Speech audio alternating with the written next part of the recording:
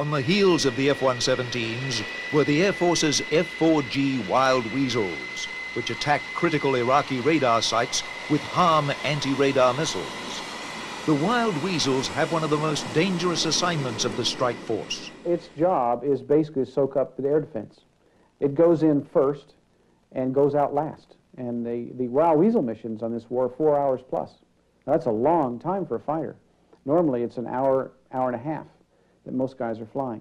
So he goes in, he sees when the radar comes up, he goes down there with a, uh, an anti-radiation missile that homes on radar, and he gets those guys to fire at him, uh, or at least to keep the radar on. So he can in turn destroy the, the, the radar-guided AAA, the radar-guided SAMs, uh, radar sites, and the air defense radar sites. Uh, whatever it is that's going to be a threat to the strike force coming behind it. The Wild Weasels were remarkably successful in their mission, suffering no losses in the first wave of the attack.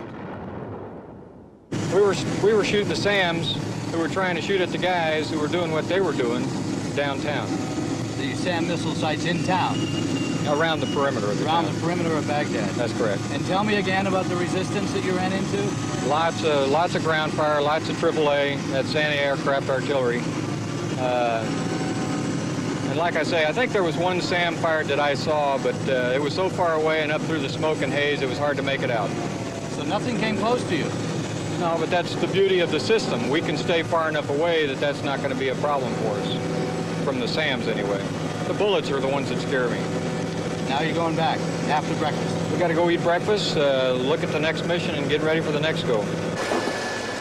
The Wild Weasels mission was not over after the first attack.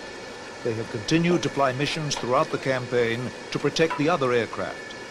Here, the F-4G Wild Weasels of the 35th Tactical Fighter Wing prepare for another mission over Iraq. The sophisticated HARM anti-radar missiles are carefully loaded under the wing of each aircraft taking part in the mission.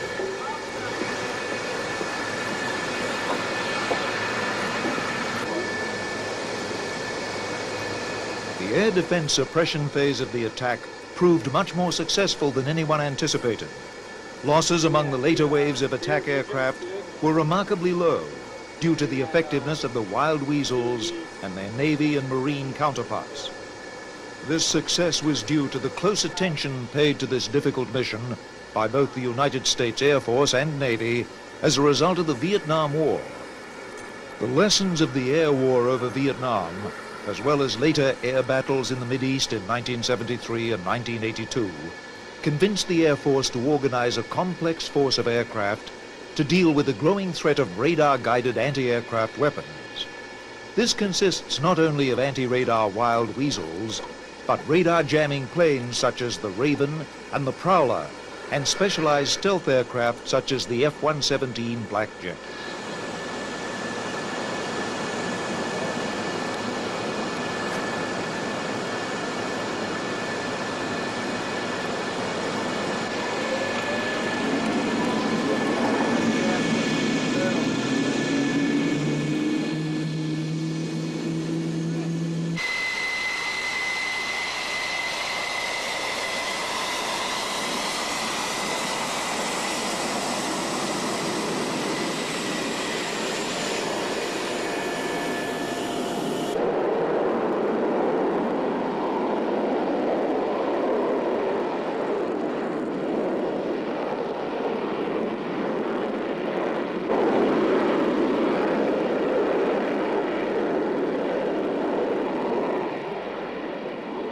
In spite of their success in weakening the Iraqi defenses, there was no sense of complacency.